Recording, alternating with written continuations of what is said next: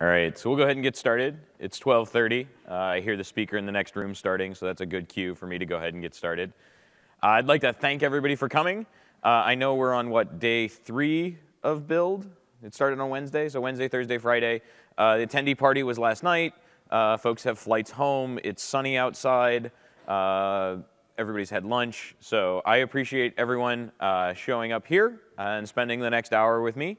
and Given that we've got uh, a couple of empty seats, uh, you know, feel free to just fire away with questions as we go, and I'm happy to kind of take those uh, as, as we go.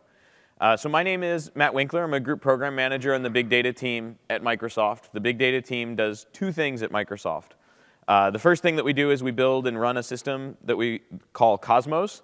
That's where Microsoft keeps almost all of its data. So this is where Bing keeps its copy of the internet. This is where all of the telemetry from devices and, and apps and the OS and everything lands. And it really powers uh, Microsoft. The second thing that we do is we build a lot of our external facing big data services. So these are things like HDInsight uh, and Azure Data Lake. And so that's what I spend my day job on. Uh, today what I'm going to be talking about is uh, insight from exhaust. Uh, I had a couple of folks come up and say, hey, what are we talking about? Is this like connected cars? Uh, what, are we, what are we talking about here? Uh, and I, I picked this term because you know, the, the byproduct of combustion is exhaust.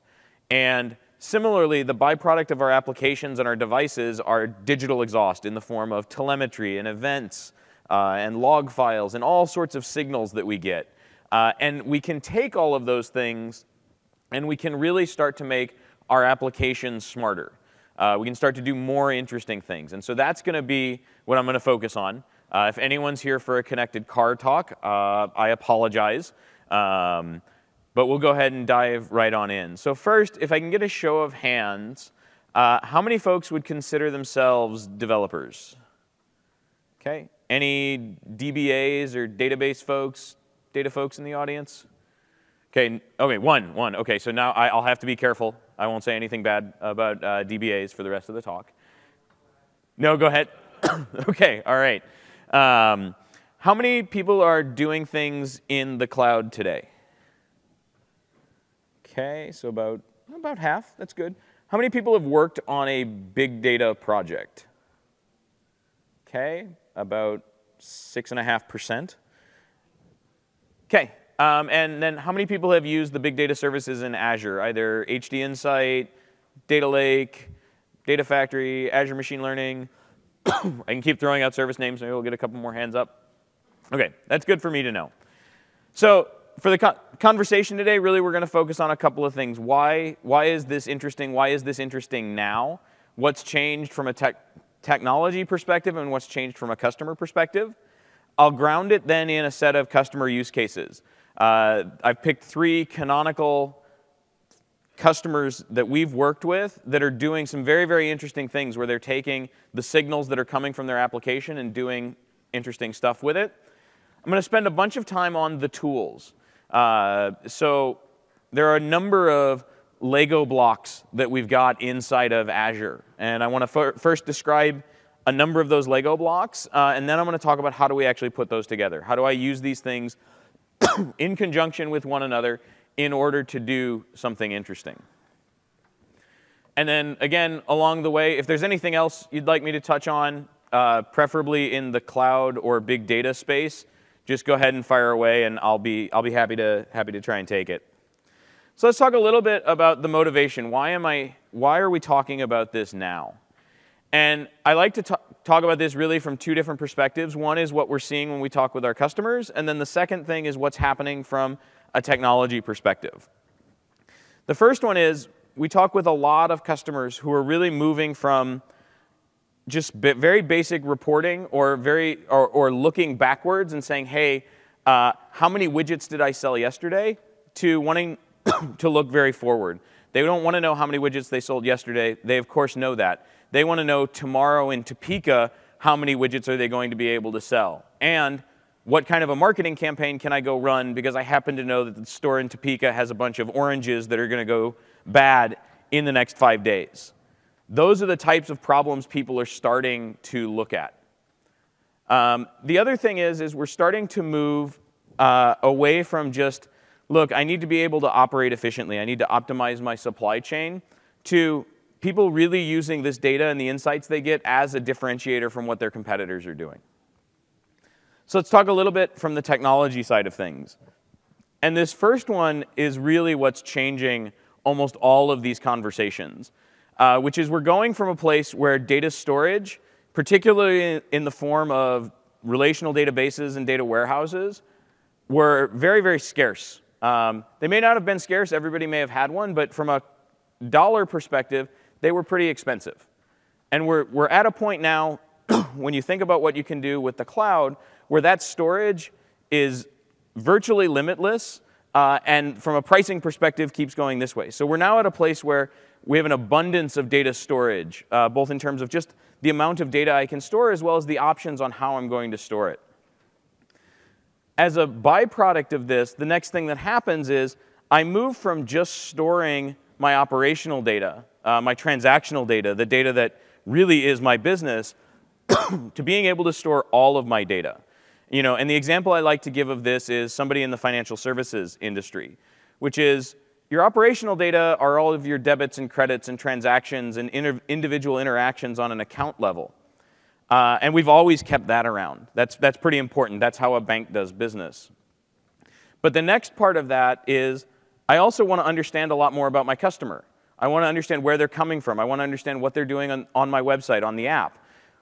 What I can actually do now is say I want to take every click that happens when they're in my banking app, and I want to store that click because I want to understand how customers are using my app. I want to understand, hey, when's the right point in time for me to give them an offer about a new car loan? Uh, I want to be able to do uh, those types of things, and I, I want to do that using not just the data about, hey, you know, Dave deposited his paycheck last week. Another thing to think about here is a move from a world where we're very, very modeled.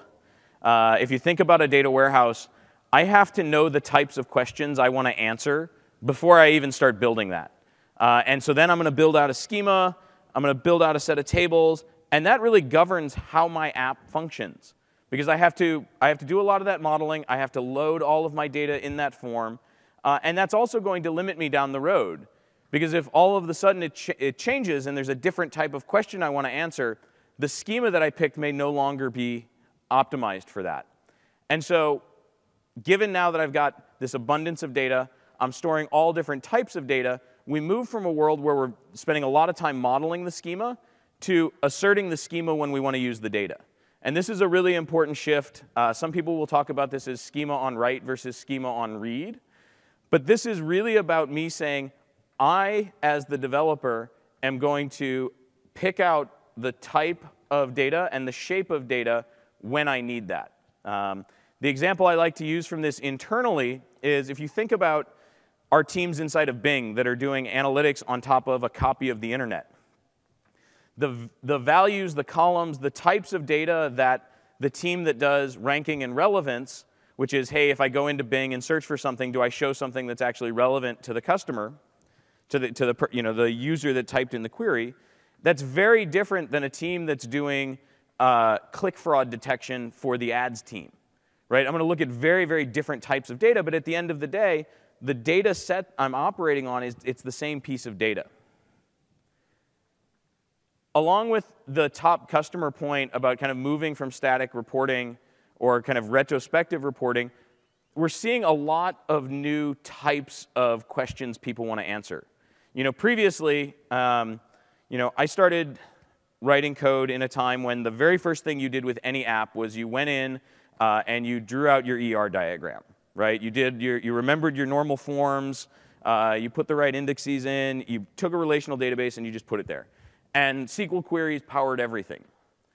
And SQL queries are incredibly powerful. I'm not here to say don't use SQL. Please don't anybody tweet that or write that down. But what I am saying is that there are a number of things that you may want to do uh, when you think about predictive analytics, when you think about being able to do some of the things that we saw in the keynote two days ago in terms of image processing, you know, that's not something that really fits nicely into select from where group by, right? And so just as we're seeing different types of storage evolve, we're also seeing different types of analytic engines evolve that have different needs, and we want to operate on the same set of data. So those are a couple of things that we see happening both from a customer perspective and a technical perspective that lead to this new way of analyzing the data that's coming off of your applications. So now what I'd like to talk about is customer stories. So I want to talk about three customer use cases here. And the first one that I want to lead off with uh, is a company called JustGiving. Uh, so JustGiving is a uh, social giving company. Uh, you may have seen some of their applications. Uh, if you have a Facebook feed or a Facebook profile, most of us do, uh, and you go into Facebook and you're looking and you see, hey, my friend John is raising money for a cause. You know, maybe there's uh, someone in his neighborhood who's sick and he, wanna, he wants to you know, help them out with their medical bills, or there's a fundraiser for the school or a local charity. You've seen these things show up. And so JustGiving is based out of the UK uh, and they are one of these companies. And they've been really, really successful. They've raised over $3 billion for various causes. So it's not a little application. But what they found out was that interactions were very transactional.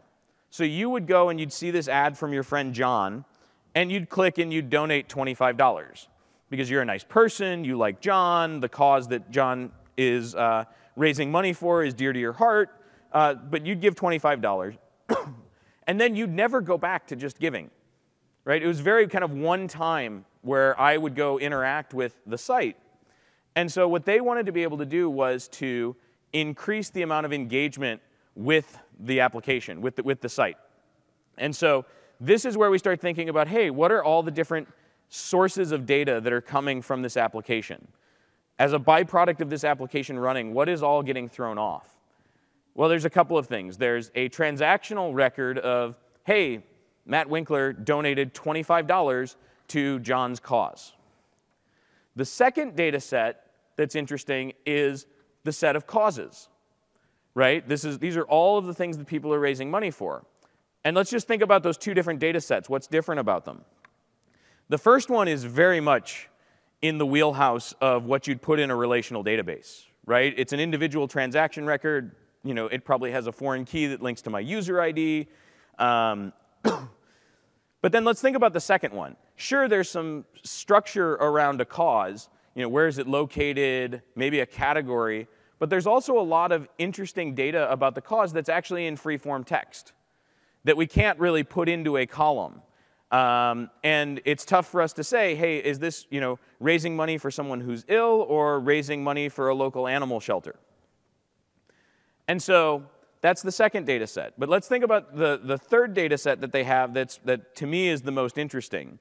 If you think about the way these applications uh, spread, they spread virally through Facebook, right? After I donate, typically what will show up is a little button that says, uh, Matt, would you like to share on Facebook that you just donated to John's cause? Uh, now, if I do that, JustGiving gets a really interesting piece of data right? They now know about me on Facebook and whatever other information they can glean about me from Facebook, which, depending on how I've set my privacy settings, may be a lot of interesting information, including what else am I interested in? Where am I located? Who are, who are all my, my friends? And so, what they were able to do is they were able to build this very, very large graph. They called it the Give graph, and it was about an 800 node graph. Uh, and if anybody remembers back, I'm sorry, 800 million node graph. Sorry, there's two, two more commas there. Um, if anybody remembers back to when you were doing graph algorithms, uh, you know, figuring out shortest path and nearest neighbors and, and all of those types of things, uh, you can't take 800 million nodes and just run that on your local machine, right? You're, you're, you're not going to have enough RAM. It's going to take 18 days, something like that. Uh, and so what they ended up doing, all of this data is landing in Azure. Uh, they used HDInsight, which is a Hadoop service, to run some graph processing algorithms on top of that graph, mash it up with those other two sources of data so that they could find out, hey, what are some other very, very uh, causes that are likely to be relevant to a user like me?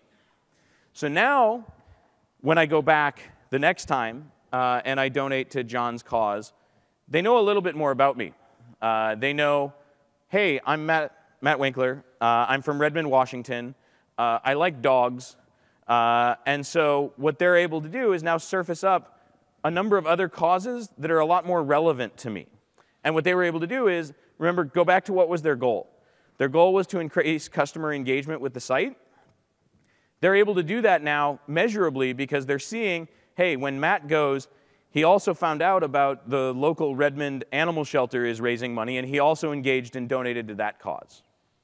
Right? And so this is an example of a couple of interesting data sources that are all coming off this application that we're using to answer a different type of question.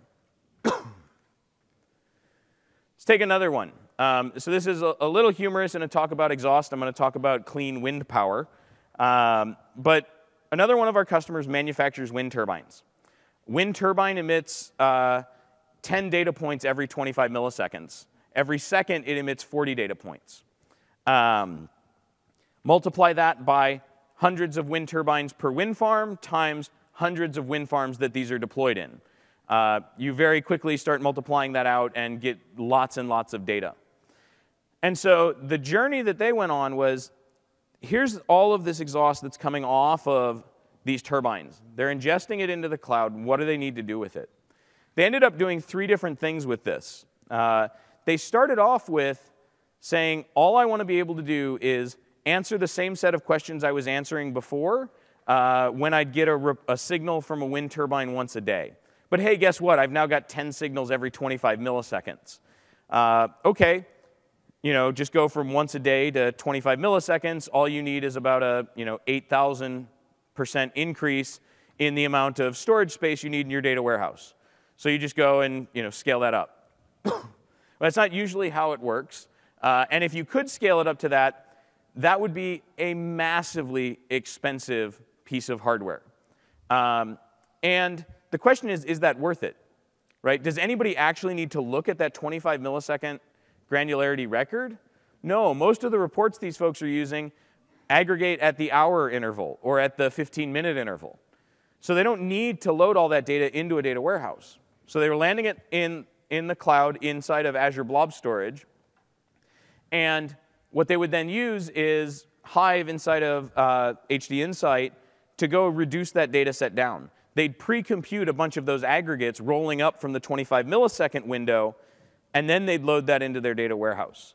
And I like this one because it, it also talks about how you uh, can refine data. So if you think about a refiner, it takes a bunch of uh, raw inputs and it distills it down into a much more valuable output.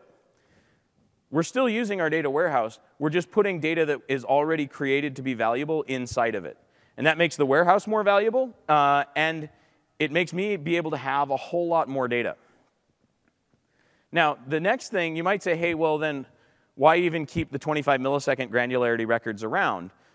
Well, that goes back to that first technical trend, which is about the abundance of storage. It's relatively inexpensive to keep those all around. And it becomes really interesting with their next use case, which is they want to understand when are these turbines going to fail? What are the leading indicators of these turbines failing? And so now they're not necessarily doing something in their data warehouse. This is not an analyst sitting down in Excel uh, trying to figure out what's going on here. They actually brought in some data scientists to say, hey, uh, we've got this set of data, which is all of our servicing logs and when uh, a turbine has broken down. Uh, I want to take that data and I want to try and correlate what are the inbound signals that can reliably predict when that's going to fail. Ah, now that 25 millisecond granularity data becomes very, very interesting uh, because I can actually find out, oh, one of the leading ways that this thing is going to fail is that one of the sensors starts giving out a really bad reading, you know, uh, every three seconds.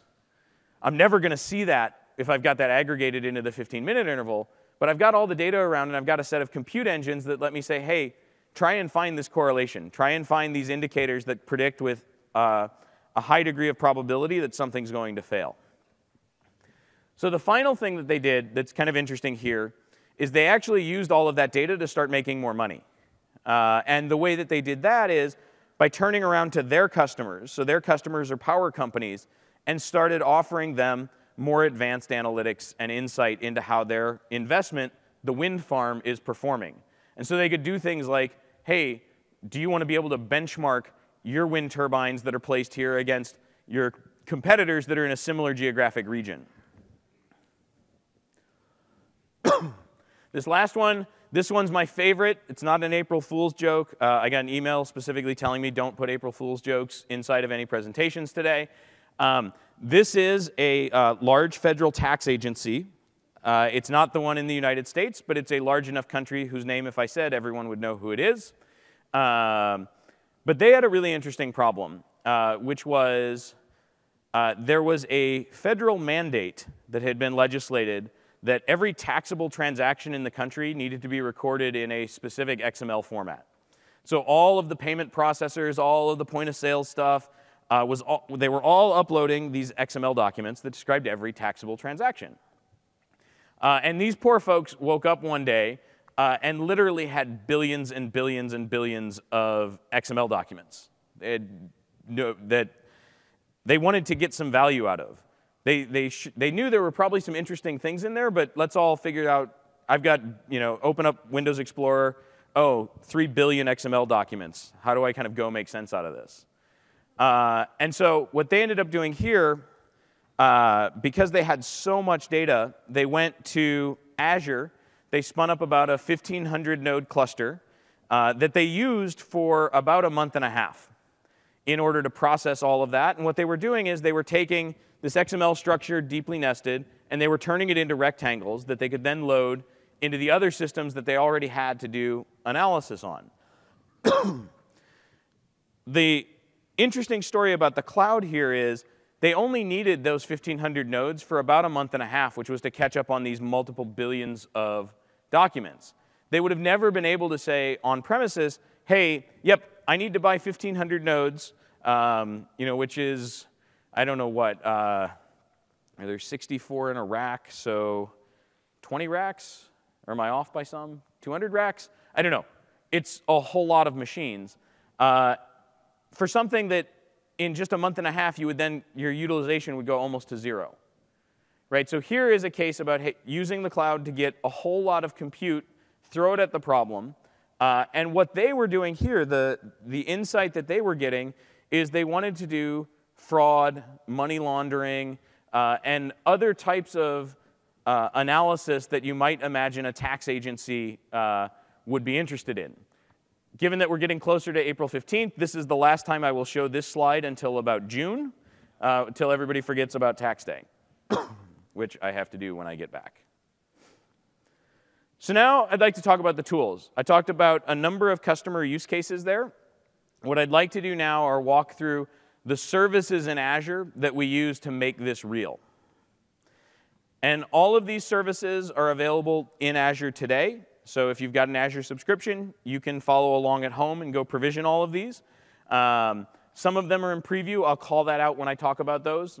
Uh, but the rest of them are generally available, and we've got customers in production on top of uh, all of these today. So we'll start at how I like to describe is the bottom of the stack, and we're going to move up.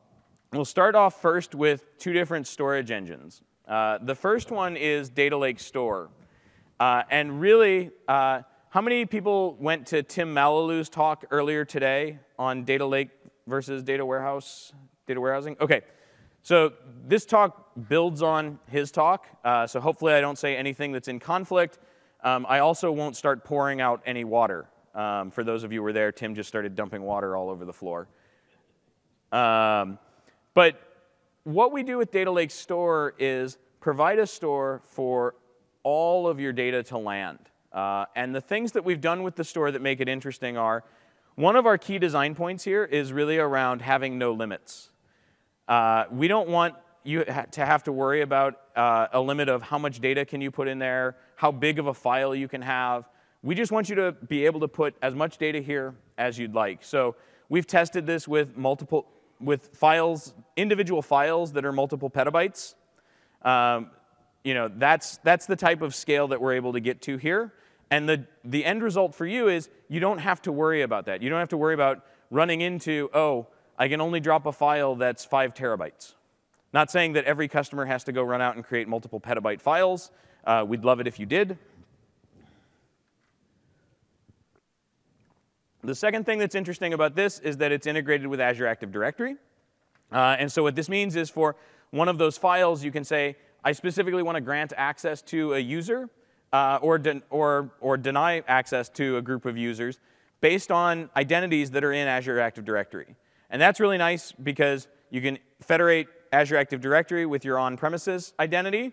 And so that means I can walk up to uh, any file that sits inside of Data Lake Store and share that with somebody that I work with at Microsoft, or share that with another company as well. The final thing that's interesting about this is the API that we surface on top of this is HDFS, which is the Hadoop Distributed File System API. This is really interesting because that is the de facto standard for any big data app. If you have a big data application, it talks HDFS.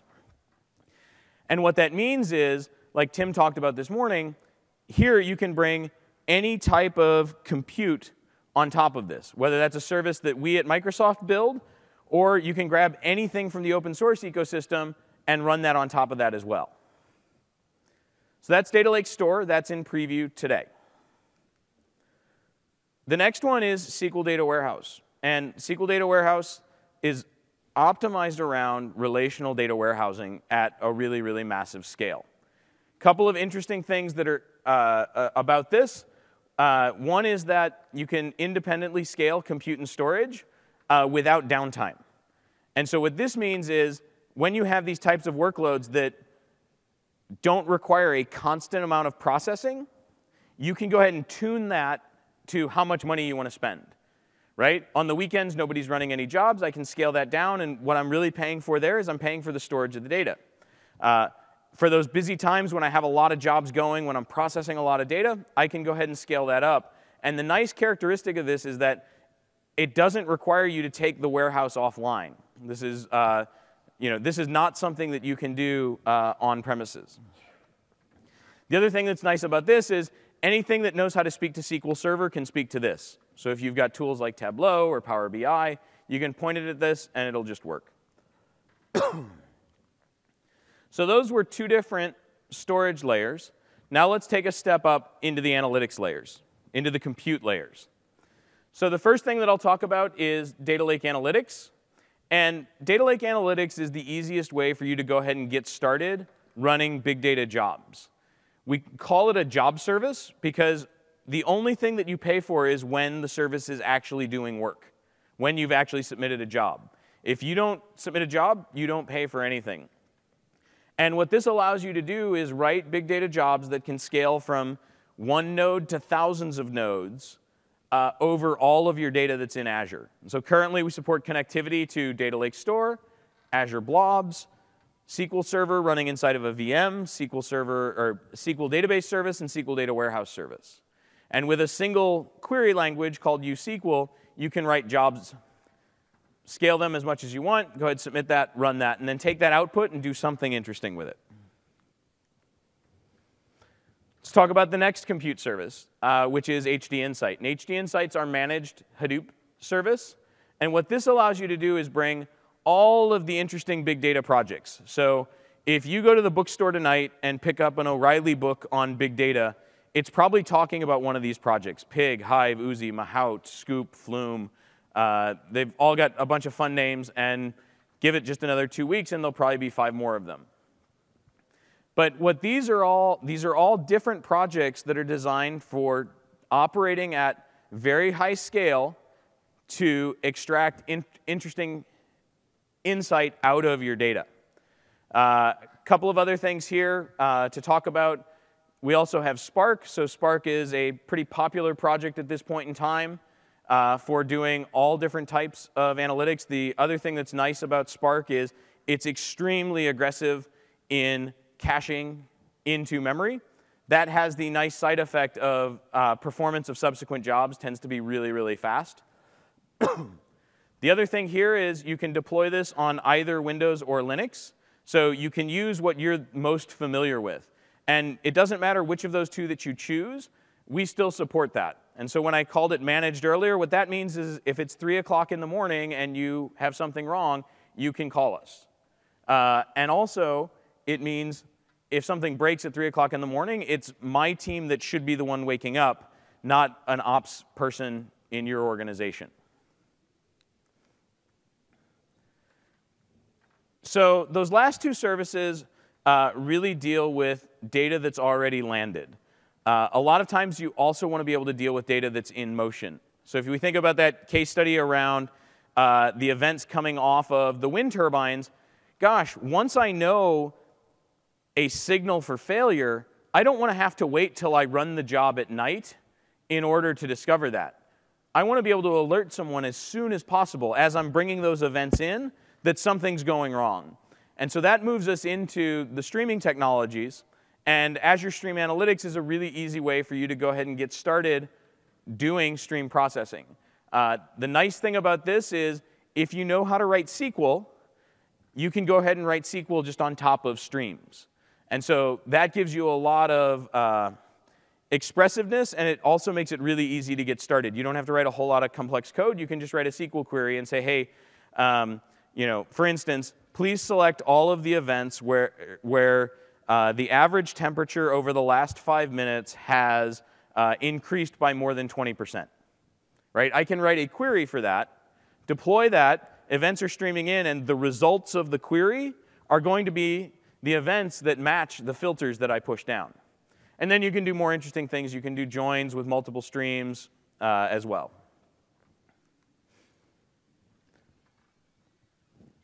Now, all of the technologies that I've described up until now are really about running a job, about running an instance of a job. And that's never the way that it works out in practice. What typically happens once you have one interesting job is that you'll write another one. Typically, the second one will depend upon the output of the first one. Now you have a problem because you have to make sure that the second one doesn't run until the first one happens. Uh, and you know, you're going to schedule the first one at midnight. How do you make sure that the second one can start? Um, now, it gets more complex than that because typically you don't have just two. You've got 20, and they've got very complex dependencies. And then what happens when one of them fails? If job one fails, I don't want to run job two. I want to be able to alert someone and say, hey, you need to go fix job one before job two runs. And so Azure Data Factory is a service that we have that allows you to orchestrate and coordinate data movement. And that, inter- that, uh, that integrates with all of the services that I just talked about. The other thing that it integrates with are on-premises data sources. So this is actually kind of nice if you've got data that's sitting uh, on premises in a SQL server or on a file share, you can also include that in those pipelines. Uh, oftentimes, we'll see customers who want to do this because they're storing uh, all of their long term data in the cloud. They've got a lot of apps deployed on premises, which are all storing locally, and then they want to move that up once a night or three times a day or whatever at whatever frequency uh, you need.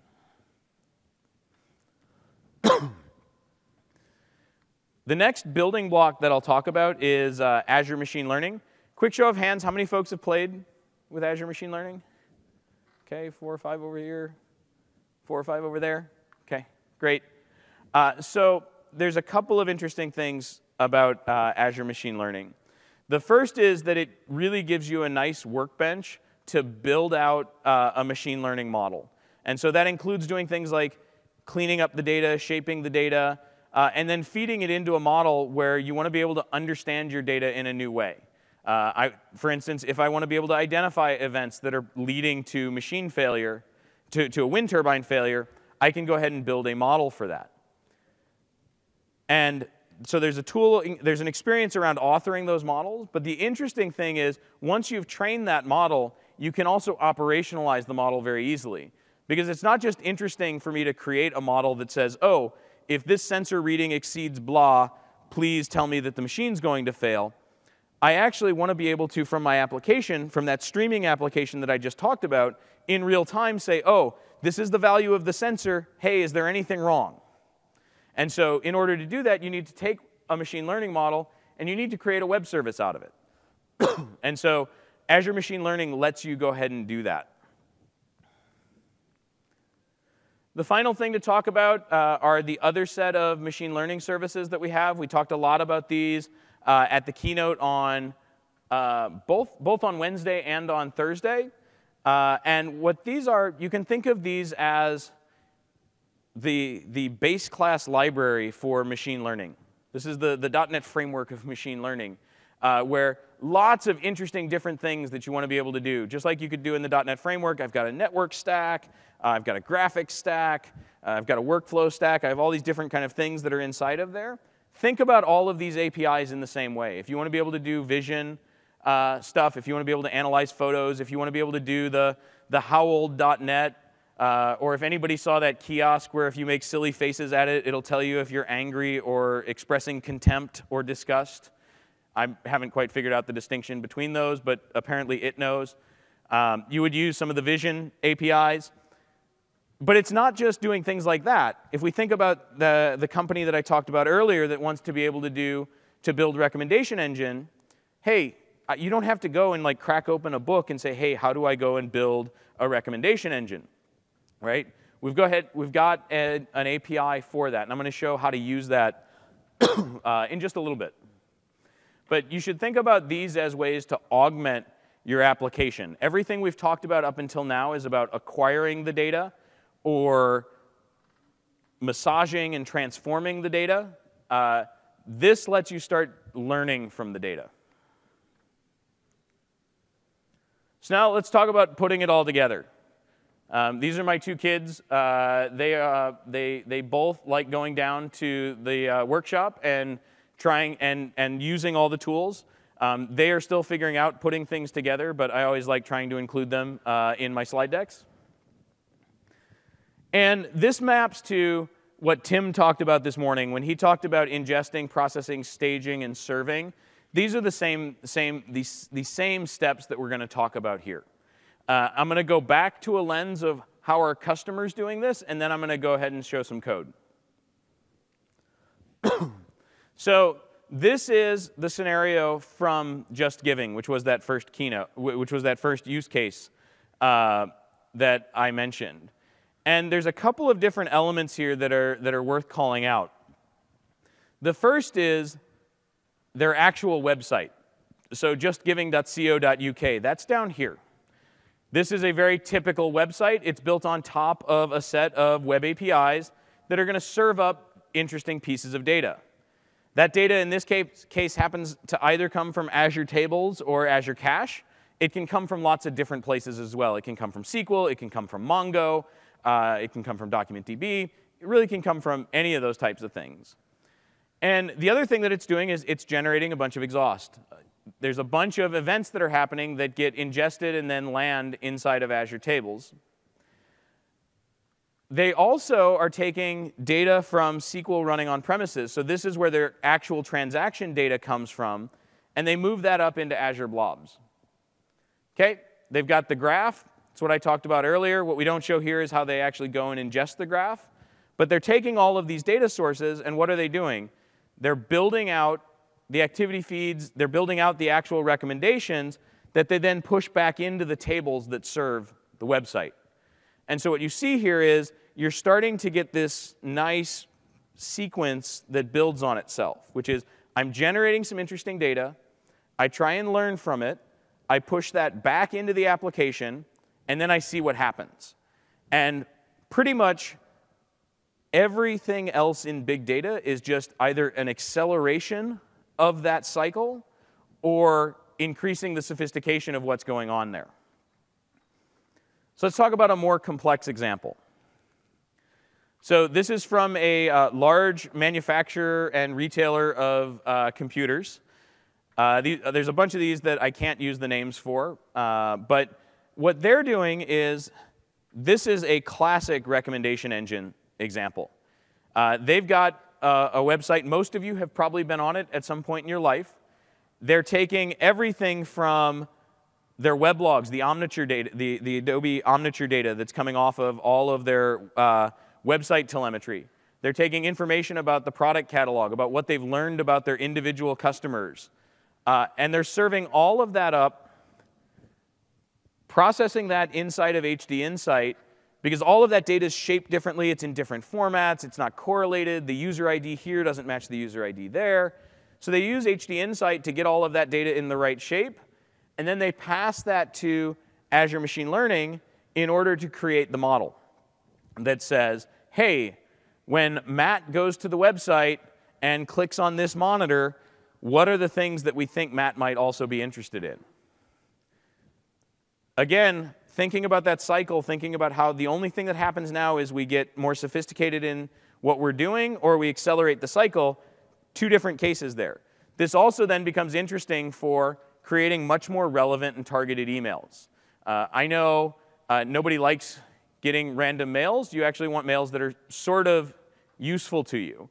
And so what they can do here is what are the things based on my purchasing history, based on the demographic information, what are the things that I'm most likely to click on in an email in order to craft the right emails?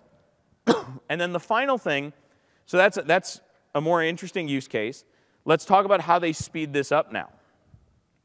Because what they actually want to be able to do is, in real time, coming from their website, look at a user's behavior and determine intent to purchase. It's an incredibly important metric by which they want to maximize someone actually clicking buy, right? Because we all go to the websites, we all put a bunch of stuff in carts, we never actually buy it. And so what they're, what they're doing now is they're looking at all of those, that data that's coming through the system in real time, scoring that to say, hey, how likely is Matt, with all that we know about Matt, to buy right now? And if I cross a certain threshold, the application is going to get an alert that says, we really think Matt's going to hit buy now. And so what will they do? They'll actually, in real time in the web app, say, oh, hey, Matt, if you click buy right now, here's a 10% off coupon. Right? And so this started off with, I just want to be able to understand and try and predict my customer behavior, to getting to reacting in real time as I'm browsing through a website showing me a deal that's targeted because they know I'm probably pretty likely to click go.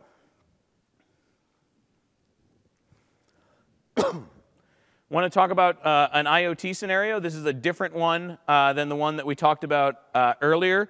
These are uh, uh, liquefied natural gas dispensers uh, that have a bunch of sensors on them, and if they if something goes wrong with them, it's fairly it's pretty bad. and so what they are doing here is all of the sensor readings here are getting uploaded into Azure Blobs, and then a couple of things are happening. So they've got a set of jobs that they use to go feed their data warehouse, which is what their analysts use inside of Excel. Um, they also feed a machine learning model to predict, hey, do we think that one of these machines is going to fail? And then, like I mentioned earlier, you know, it's not that once you get these things going that you know you come into work every morning and click please mr pig job please go run right? And so this is where something like azure data factory comes in for them to orchestrate that, that data movement and orchestrate the execution and processing of all of that logic. So i'm going to show one more slide before i go into uh, show a little bit of code. And i want to try and kind of pull all this together about why this is why this is important. And so what I've got here is this is the documentation page from that recommendations API that I was talking about. Let me go ahead and zoom in here. And what you'll see here is, oh, the way that this API works is when I pass in the usage information. So this is, hey, someone viewed or clicked or did something uh, on the website. This is the format that I need to pass it in as. Okay, it's highly unlikely that that's the way that that record is stored in my transactional system. And so an example of a job that I would need to do to prep the data for this would be creating this file. And so I would go across my, uh, my website, I would go across my transactional system, I would extract out the user ID, the item ID, things like the time, and then, hey, did they click on it? Did they add it to the shopping cart? Did they remove it? These are all signals that I can send into this API for it to create uh, a predictive model.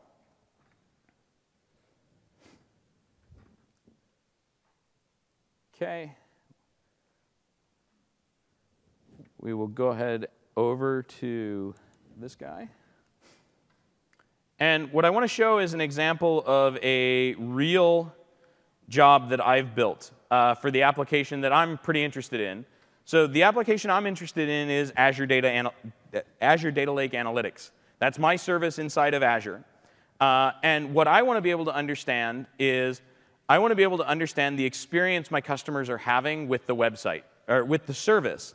Uh, and I want to be able to understand are they able to do things, and what is the quality of the experience that they have when they do that? And so the set of data that I'm operating on here, the exhaust, think about the exhaust that's coming off this service in Azure. I'm operating off of what we call the front end logs.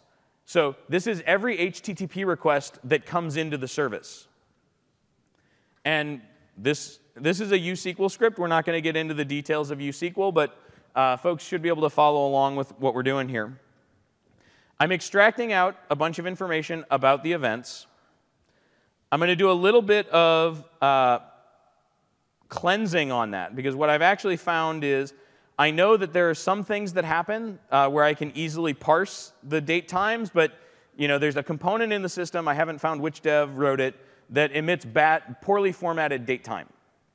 And so uh, I've only discovered that because I had this job running, it was fine, and then it broke one day. And the reason it broke was because, hey, there was a bad date time field somewhere in all of those HTTP requests. so what you'll see that I'm doing here is, first I read in my front end events that are all good, but then also I read in all of the front end events that are bad. Because what I actually do with these is I output these to another file that I then go look in and say, oh, all of these are going to the submit job API. I know which dev I need to go find who's emitting the wrong, uh, the wrong information here. And so you'll actually see I'm taking the bad front end events uh, and I'm emitting that to a separate file that I'll go uh, look at. And then I'm going to continue to clean this up. I'm going to remove duplicates. Uh, we've got a number of HTTP requests that I don't really care about, like uh, a software load balancer keep alive, uh, our, our front end proxy redirect events, because all of that stuff comes in as a log, uh, as an HTTP request. I don't really care about those. And so what you'll see here is I'm actually filtering all of those out. What I'm doing, I'm refining, refining, refining that data set. I'm going to get to the point where I actually start computing the latency. Uh, and so what I'm going to do here is I'm going to use the uh, analytic functions that are in most modern SQL implementations to compute the percentiles. Because I want to really understand how are most of my customers having an experience, and then for the customers that are having a bad experience, how bad is it?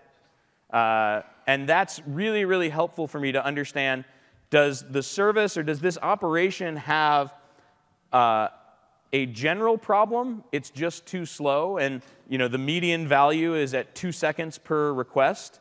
Uh, or is it the median's fine, 50% of my customers uh, get a response back in under 250 milliseconds, but the 90th percentile is at 25 seconds. So that means 10% of my customers wait at least 25 seconds. Okay, that's a very different performance problem that I have to go investigate. And so what you'll see here is I'm just uh, summarizing all of this. And I'll go ahead and output that summary to yet another file. So that file, what I then do, I do a couple of things with it. Uh, most of the time, I just open it in Excel. Uh, Excel is probably the most widely used analysis tool on the planet. Um, I use that. I open it up. I put it in a pivot table. I kind of move some stuff around. But I've also done some other things with that. Because that's coming out um, I've reduced that down so it's a manageable data set. I can actually download that to my machine. It's not the multiple tens of terabytes of log files that the service has. Um, I can take that and I can put that inside of uh, R, just local on my machine, and start playing around with that if I want to do machine learning stuff on top of it to find, hey, is there some pattern to uh, when my requests are failing, for instance? Okay, so that's kind of prepping all of that data. And let's go back to the deck.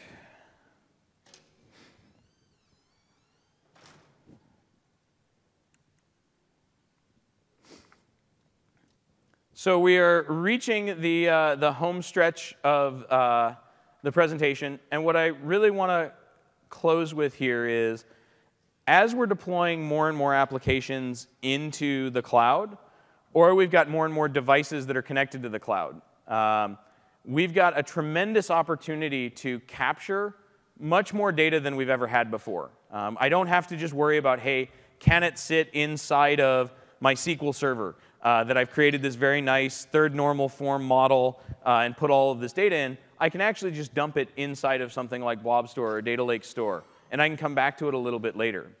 And the reason that it's really valuable to keep all of that data around is we don't know the questions that we're going to ask about this data, right? I start off with a very simple thing where I just want to understand what is the latency that my customers experience when they try and submit a job versus cancel a job inside of Data Lake Analytics. That's where I'm starting with today. But going down in, uh, to the next stage of, oh, I'd actually like to try and correlate this with were they coming in from the portal or Visual Studio? Maybe that tells me something. Maybe that helps me understand their behavior better. If I get rid of all that data, if I don't capture it, then I can never attempt to address that question until I think of it. Then I have to start capturing it. And then at some point, I've got enough data sitting around for me to actually do something meaningful. And so it's a very, very basic pattern. Store it, shape it, and then analyze it. And we've got a set of rich tools for you to use. Whether you're familiar with SQL and you want to use T-SQL, we've got tools for that. If you're coming from the open source side of the world and you want to use things like Hadoop and Spark, we've got the Lego blocks for you to use for that. And the way that we put these all together uh, is orchestrated through something like uh, Azure Data Factory. And so uh, with that, uh, I'm at the end of the content here. We've got about uh, eight and a half minutes left. Uh, so turn it around for questions, comments, blatant personal attacks, Going once? Twice? Okay, well, thank you very much, everybody, for showing up. Uh, I hope you enjoyed this talk. Please provide feedback on the talk. It's how we, uh, and more specifically, how I get better at doing this and how I make sure that the talks that we're bringing here are useful to you. So please submit feedback on that uh, and then enjoy the last couple of sessions of Build. Thanks a lot.